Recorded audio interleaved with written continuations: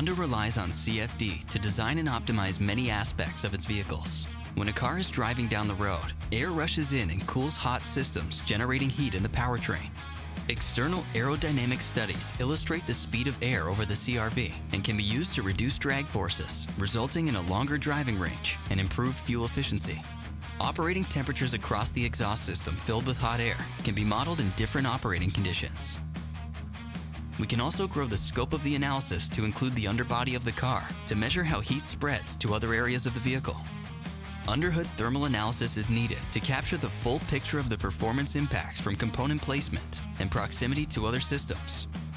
Honda trusts Cadence every day to deliver high-fidelity CFD results for their R&D teams, to deliver products that live up to the company's heritage of industry-leading quality, performance, and reliability.